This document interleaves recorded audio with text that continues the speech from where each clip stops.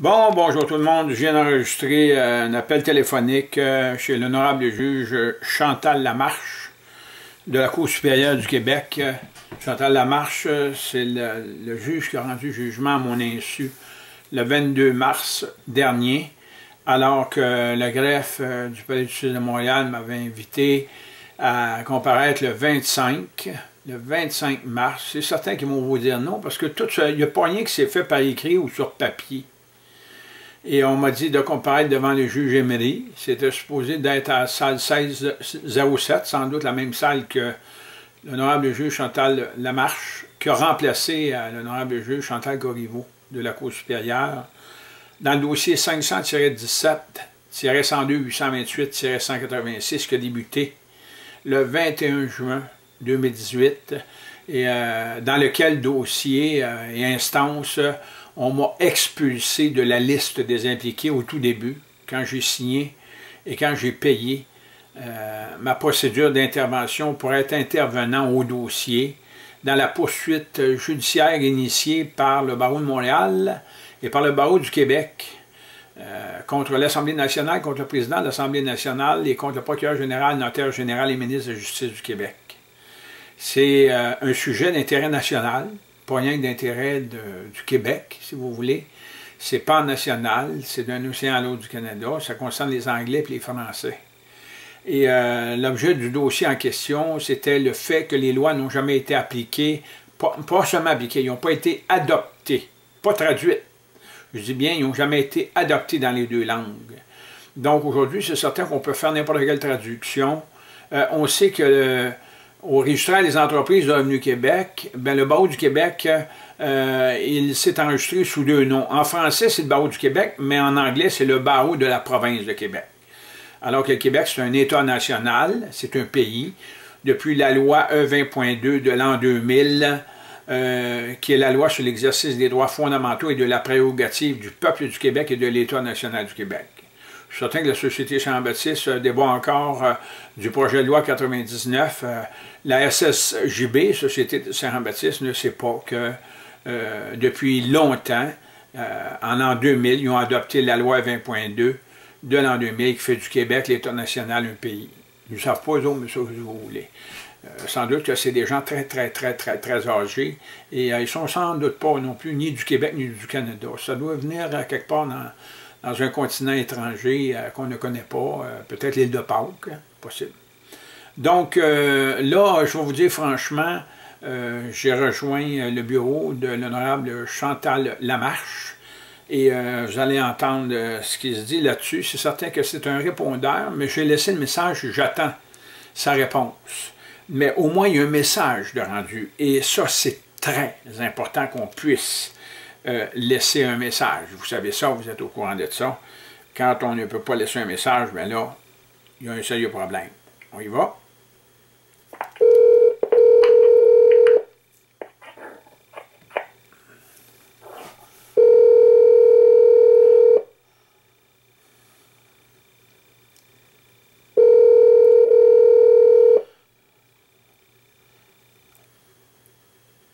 Bonjour, vous avez joint la boîte vocale de Mélodie Dessauniers, adjointe de la juge Chantal Lamarche. Veuillez me laisser un message et je vous rappellerai dans le plus bref délai. Merci, au revoir. Oui, euh, Madame Mélodie, c'est euh, Jean-Joseph Antoine Normandin. C'est pour euh, le dossier judiciaire contre l'Assemblée nationale, qui est le 517-102-828-186. L'honorable Chantal Lamarche a rendu jugement le 22 mars 2019 euh, à mon insu. Et euh, depuis le début de l'instance, le 21 juin 2018, on m'a même euh, sorti, si, on, si, vous voulez, de la liste des impliqués et même du punitif à ce dossier-là, qui est un dossier quand même du Code civil. C'est la juridiction 17. Je ne comprends pas pourquoi ils n'ont pas mis la juridiction 05. C'est moi qui débattais euh, dans la juridiction 05 en 97 contre l'abrogation de l'article 93. Donc, j'apprécierais qu'on me retourne l'appel. J'aurais besoin du document. Euh, parce que j'ai pu me présenter le 25 devant l'honorable juge Benoît Emery en salle 207, alors que tout se faisait en salle de conférence, si on veut, au 16e, au, 16e étage, à la salle 16.61. Et j'avais comparu devant l'honorable juge Chantal Cobiveau. Donc, j'attends votre appel au 438-390-6246. Euh, si on ne me retourne pas l'appel, mais je vais essayer de vous téléphoner un petit peu plus tard. Mais écoutez, j'ai besoin de ça assez rapidement. Euh, du jugement et je vais demander tout simplement un remboursement de la procédure que j'ai déposée, qui m'a quand même euh, coûté 171 Et ça s'est fait en toute confidentialité, cette instance-là, depuis son début. Le barreau du Québec s'était retiré. Il y avait eu vote au barreau du Québec alors que le Bon de Montréal a maintenu l'instance et je suis, intervenu à, la journée même, si vous voulez, euh, avant qu'il fasse échouer l'instance. Donc, 438-390-6246, 438-390-6246, la procédure porte euh, mon nom, Jacques-Joseph Pierre-Antoine Normandin. Donc, euh, on sait qu'il y a toute une question d'identité, mais il y a toute une question de fondement juridique. Euh, ça concerne euh, l'article 168.3, à mon avis, et l'article 33 de la Charte canadienne, qui abolit la suprématie de Dieu et la primauté du droit. D'une façon ou d'une autre, euh, le droit n'existe pas ici. Et un 17, c'est du Code civil. Ça, ça n'a pas rapport. Le Code civil a été supprimé en 1980, pour ceux qui ne savent pas. Donc, moi, j'ai quand même mon assermentation depuis 2013 devant le ministère de la Justice du Canada, le 23 août 2013.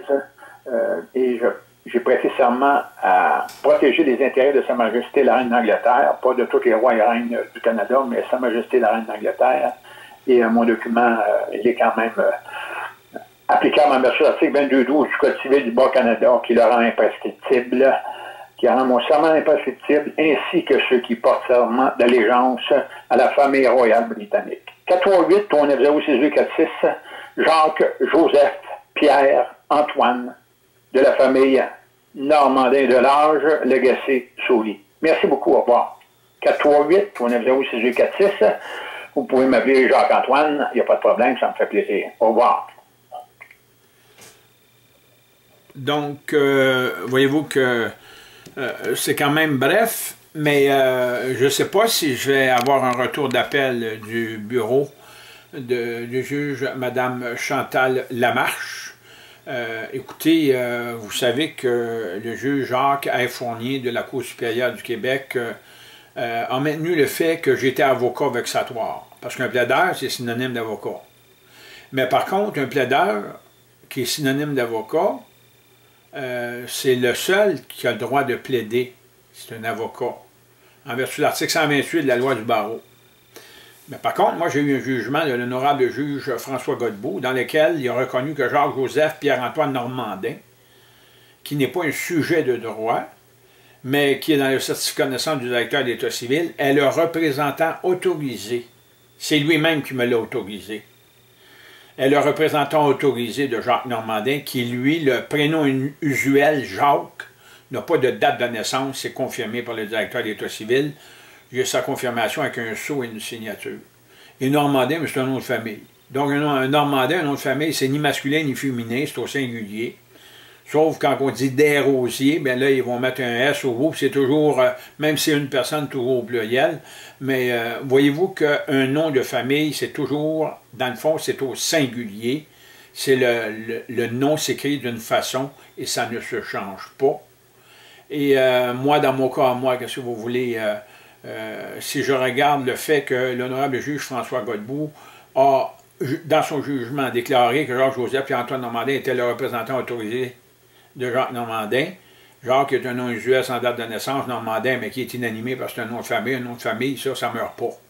C'est Jacques qui meurt, c'est pas Normandin. Euh, Normandin, ça, il y en a encore, je sais pas combien de milliers. Pas vrai que quand moi je vais mourir, Normandin, tous les Normandins sur la planète viennent de mourir. Oubliez ça. Mais, bon.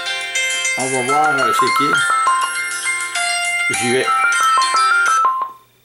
Oui, allô?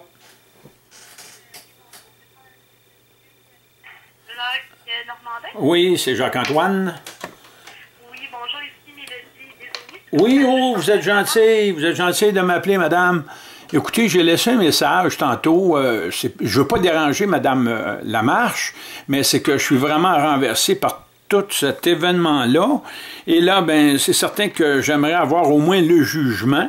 Et euh, parce que ce qui arrive, c'est que ça, ça s'est fait euh, en catimini, si on veut. Ça s'est fait euh, alors que c'est un dossier public. Hein. Vous savez, c'est une poursuite judiciaire contre l'Assemblée nationale, contre le procureur de l'Assemblée nationale, euh, c'est-à-dire le président de l'Assemblée nationale, contre le procureur général, notaire général et ministre de la Justice du Québec. Et c'est moi qui avais maintenu l'instance, mais on m'a rejeté, on m'a tout simplement supprimé, on m'a expulsé de l'instance.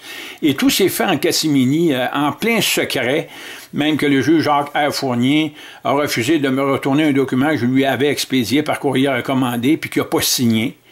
Et quand on ne signe pas un document, il est obligé de me le retourner. Ça m'appartient. Il fallait qu'il me le retourne euh, inaltéré. Donc, il fallait pas que l'enveloppe soit ouverte ou quoi que ce soit. Il n'y a rien, rien qui s'est fait à cet effet-là. Donc, euh, là, au moins, j'attends tout simplement le jugement. Je peux pas laisser ça comme ça. Parce que vous savez que le sujet, c'était que les lois n'ont jamais été adoptées dans les deux langues au Québec. Et que la loi de l'impôt sur le revenu du Québec, l'article 1, stipule qu'il n'y a pas de loi au Québec. La définition du mot loi, c'est loi qu'on prend loi autre qu'une loi du Parlement du Québec. Il n'y a pas de loi ici. Même si les, médias d'information disent le contraire, il n'y a aucune loi ici. C'est confirmé par la loi Z03 du fédéral qui dit que les lois habilitantes sont des lois non législatives. Donc, c'est des lois qui proviennent des juges.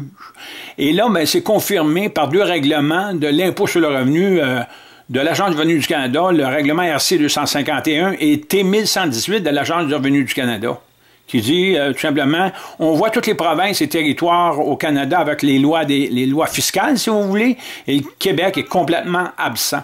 Donc, moi, c'est certain que je peux pas laisser ça comme ça. Je suis un ancien euh, dirigeant du Bloc québécois à l'époque de Lucien Bouchard et de Michel Gauthier, quand du CAP est rentré, mais je suis parti.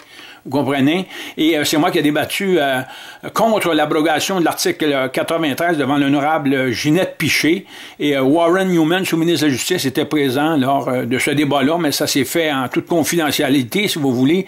Alors, ça devrait pas se faire. Puis, même, je reproche une chose, c'est qu'ils ont mis une juridiction 17, qui est le Code civil, alors que, comme je vous disais tantôt, le Code civil a été supprimé au chapitre 39.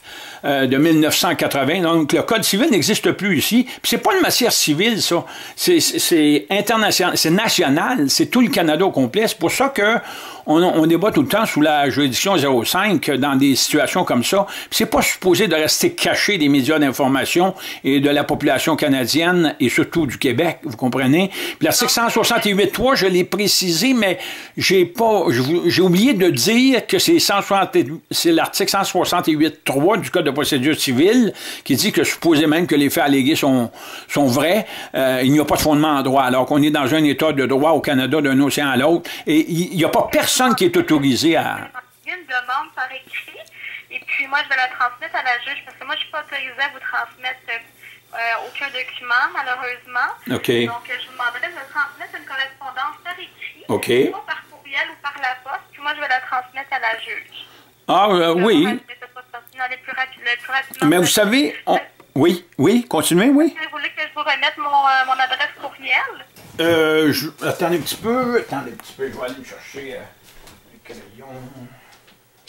Je ne m'attendais pas à avoir un appel immédiatement. D'habitude, on ne veut pas me retourner l'appel, hein, vous savez. Mais euh, je pense que c'est ça s'impose actuellement. OK. Votre courriel, c'est... Alors, c'est Mélodie, M-E-L-O-D-I-E. D-I-E, oui. Point D-E-S. Oui. A-U. L comme Lynn, N comme Nicole, oui. Alors, je demanderai de m'envoyer tout ça par écrit, OK. Je vais vous expédier ça aujourd'hui avec euh, certaines informations quand même. Et euh, là, on m'a dit, moi, euh, parce qu'il y a le département des finances du ministère de la Justice, et il y avait un formulaire à remplir, mais j'ai dit, écoutez, j'ai dit, il n'y a, il y a, aucun sujet dans ce formulaire-là qui, correspond au, motif que, j'allègue actuellement de, réclamer ce montant-là. Puis je vais vous dire franchement, très très franchement je ne peux rien faire pour vous. Euh, oui. Donc, je vous demanderai juste de m'envoyer la correspondance par écrit, puis je vais voir ce que je peux faire pour vous aider. C'est bon. D'une façon ou d'une autre, comme je vous dis, euh, je vais vous expédier ça, puis vous regarderez ça. Et j'espère que, en tout cas, ça va se développer assez vite parce que je ne peux pas laisser ça comme ça, c'est certain. Parfait. Je vous remercie. Vous êtes bien aimable, madame. Je vous remercie beaucoup. Au revoir. Au revoir. Bienvenue, bonne journée. Merci, pareillement. Au revoir.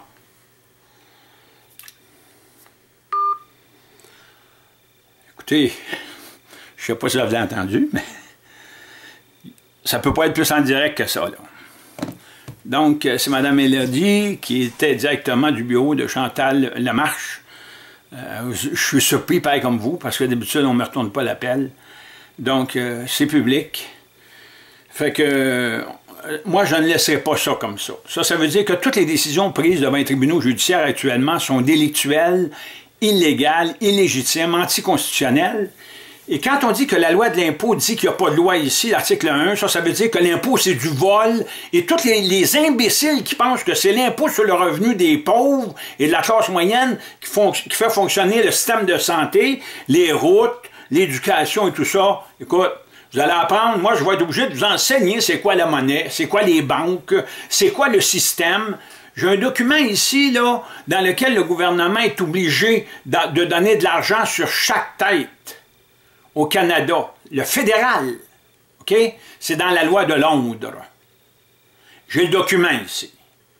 Les gens ici n'ont pas besoin de travailler pour avoir de l'argent. Premièrement, c'est de l'argent scriptural. Puis en plus de ça, quand vous êtes endetté à 174% de votre revenu, le Canada n'est pas en faillite. Parce que l'important, ce n'est pas la dette. Une dette, c'est un revenu. Pareil comme de l'argent net, c'est un revenu. Preuve, c'est que si vous n'avez pas de dette, vous n'avez pas le droit d'avoir un prêt. Ils vont prêter à des gens endettés. Jamais une banque prête à des gens qui n'ont pas de dette une personne qui n'a pas de dette est insolvable. Pourquoi?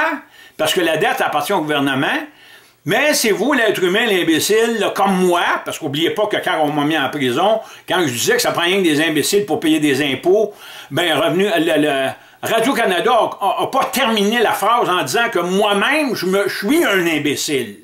Moi-même. Là, je vous le dis, pour pas que personne pense le contraire, je suis un gnostique d'imbécile. Moi, je suis le plus imbécile du Canada. Ça va faire plaisir aux juges, aux notaires, aux avocats, à tous les députés et à tous les ministres. Je suis un parfait imbécile. Mais raisonnez seulement ce que je vous dis. Ce que j'essaie de vous informer, pas enseigner, parce que je suis un imbécile. Puis essayez de faire raisonner d'autres personnes avec ça. Puis mettez ça en anglais. Il y a bien plus d'anglais au Canada ici qu'il y a de français. Puis ici, ben, on est tellement occupé à essayer de rejoindre les deux bouts qu'on n'a pas, pas le temps de faire de la politique. On n'a pas le temps de s'informer sur la politique. Et les gens qui reçoivent du BS, de la sécurité du revenu ou quoi que ce soit, ne vont pas leur parler de, ce que moi je vous dis actuellement, mais ont peur de l'avenir, ils ont peur de tout perdre, puis de se retrouver en dessous d'une roche avec plus rien pour manger. Alors qu'on n'est pas le tiers-monde encore, mais on n'est pas loin. Vous comprenez? Donc, euh, écoutez, partagez, je mets ça directement euh, public, cette chose-là. Puis, euh, gênez-vous pas, partagez. Mon nom, c'est Jacques-Antoine. Monsieur Jacques-Antoine au 438-390-6246. 438-390-6246. Mon courriel, c'est euh, tout écrit ensemble. C'est Jacques, J-A-C-Q-U-E-S, Antoine, A-N-T-O-I-N-E,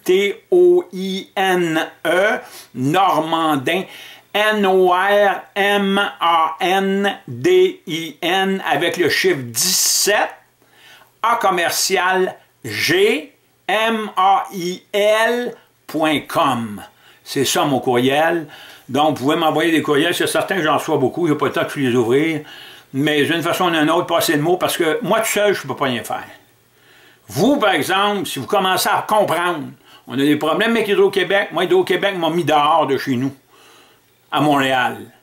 Ils ont, ils ont cassé mon bail. Savez-vous pour quelle raison? Parce que le bail était au nom de Georges-Joseph et Antoine Normandin, qui n'a pas de numéro d'assurance sociale.